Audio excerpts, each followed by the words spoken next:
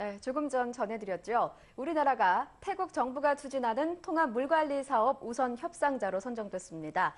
한국수자원공사 이한구 동남아 사업단 사업기획팀장 전화로 연결해 자세히 알아보겠습니다. 안녕하십니까? 네, 안녕하십니까. 네, 태국이 지난 2011년에 대홍수를 겪으면서 이 물관리의 중요성을 인식했는데요. 이번에 대규모 물 관리 사업을 실시하기로 했는데 어떤 내용이고 또 규모는 어느 정도입니까? 예, 어, 말씀하신 바와 같이 어, 태국에서는 2011년도에 전 국토의 3분의 1이 잠기는 대홍수를 겪었습니다. 그래서 태국 정부는 항구적이고 지속가능한 홍수 조절과 그리고 물관리 대책을 수립하기 위해서 2012년 7월 입찰 계획을 발표한 이래로 지금까지 진행되어 왔습니다. 네. 어, 사업 내용은 이 태국 전 국토를 대상으로 하고 있고요.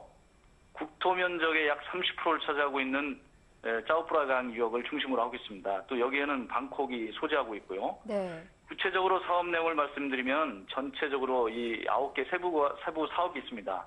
그리고 사업 성격상 크게 여섯 개로 구분되는데요. 네. 이 각각을 말씀드리면 국내의 소양강 댐과 같은 댐 건설 사업이 있고요. 그리고 저지대에 홍수 방지벽을 설치하는 사업, 그리고 하천 주변에 임- 임시 홍수 조리지를 건설하는 사업, 네. 그다음에 하천 정비 사업, 인공수로를 건설하는 방수로 사업, 그다음에 홍수 예경보 시스템 등을 구축하는 물관리 시스템 개발 사업이 포함됩니다. 그래서 대부분 우리나라의 4대강 사업과 내용 면에서는 매우 유사하다고 볼 수 있습니다. 네. 그리고 사업 규모는 아, 이 공사비로 따져볼 때 약 11조 4천억 원에 해당되는 규모입니다. 아, 그렇군요. 이번에 네. 우리나라가 방수로와 임시 저류지 등 두 개의 분야의 우선 협상자로 선정됐다고 하던데요. 예, 그렇습니다.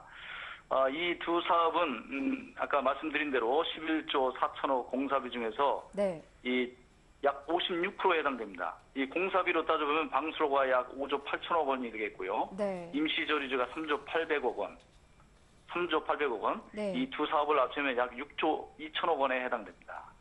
네, 이렇게 뭐 절반 가까이나 되는 큰 규모인데요. 특히 네. 방수로 분야는 태국 통합 물관리 사업의 핵심 분야라고 하던데 구체적으로 어떤 내용인가요? 예. 이 방수로는 전체 길이가 약 850km에 이르는 물길 사업입니다. 네. 우리나라의 에, 경인나라 백길 사업을 연상하시면은 이해하시는 데 도움이 될 것 같습니다. 네. 이 중에서 음, 신규로 건설하는 수로가 약 280km가 되겠고요. 나머지는 기존 하천과 연결시켜서 어, 이 홍수로를 에, 정비하는 사업입니다. 네. 그리고 홍수를 소통할 수 있는 능력은 초당 약 1,500톤의 물을 흘려보낼 수 있는 규모입니다. 네. 어, 방수로 사업은 어, 굉장히 또 중요한 게 전체 세부 가업 중에서 사업 규모도 가장 크기도 하지만은 네. 홍수 조절 효과 면에서도 가장 뛰어납니다. 어, 네. 그렇게 말씀드릴 수 있습니다. 네, 정말 규모가 큰 국제 사업이었던 만큼 경쟁 또한 치열하다고 볼 수 있는데 우선 협상자로 선정될 수 있었던 비결 어디에 있었다고 보십니까? 예, 아까 말씀드린 바와 같이 작년도 7월 입찰 계획을 발표한 이래로 네, 어, 저희 K워터는 입찰 에, 자격 심사를 거쳐서 그리고 1, 2차 제안서를 가장 우수한 점수로 통과했습니다. 네, 에, 그 선정 비결은 크게 뭐 두 가지로 어, 생각해 볼 수 있다고 하는데요. 네. 아, 보는데요. 이 첫 번째는 K워터는 최근까지 4대강 사업이라든가 그리고 경인하라 백길 사업 그리고 다수의 다목적 댐 건설 사업을 거쳐서 네, 많은 경험과 노하우를 보유하고 있습니다. 우리는 이미 정답을 알고 있습니다. 이렇게 지금까지 이 습득한 노하우를 태국 물관리 사업에 적용했다는 점이 네, 아, 저희 K워터의 첫 번째 강점이라 할 수 있겠습니다. 네, 두 번째로는 이 본 사업의 입찰 과정에 참여하기 이전부터 이 태국 정부의 공공 분야 사업에 아, 저희가 협조를 많이 해왔습니다. 네, 아, 그러면서 여러 가지 기술적으로 그리고 여러 가지 인맥적으로 네트워크를 형성해 왔다는 것이 아, 중요한 사항이라고 할 수 있습니다. 네, 그렇군요. 노하우와 철저한 준비가 비결이 됐군요. 최종 그렇습니다. 선정이 이달 중순에 발표가 되지요. 네, 그렇습니다. 네, 어떻게 전망하십니까? 예, 뭐 잠정적이긴 하지만은 이번 주에 태국 정부와 협상을 거칩니다. 그리고 다음 주에 18일 네, 낙찰자 발표가 있을 거로 보여집니다. 네, 어, 지금까지 저희가 최선을 다해왔고 또한 좋은 결과도 얻었습니다.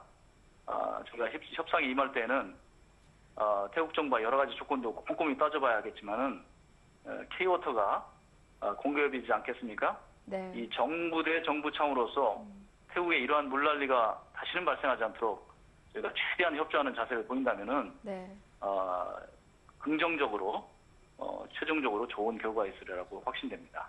네. 이번 진출을 교두보로 해서 다른 나라에도 우리의 수자원 관리 기술이 진출할 수 있는 기회가 있었으면 좋겠는데요. 혹시 계획하시는 게 있습니까? 예, 어, 뭐 최근에 기후 변화로 인해서 뭐 저희 나라뿐만이 아니고 모든 나라가 이 자연재해 빈도라든가 이 규모가 아, 증가하고 있지 않습니까? 네. 이른바 이제 물의 불확실성 시대를 맞이하고 있는데요.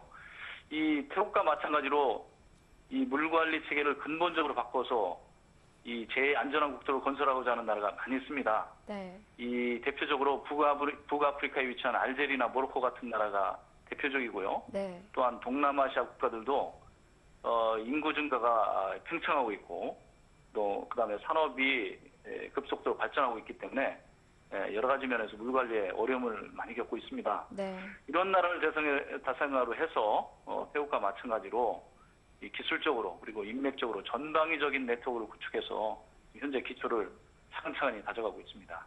네, 알겠습니다. 이달 중순에 발표되는 최종 결과 선정, 좋은 결과 기다리고 있겠습니다.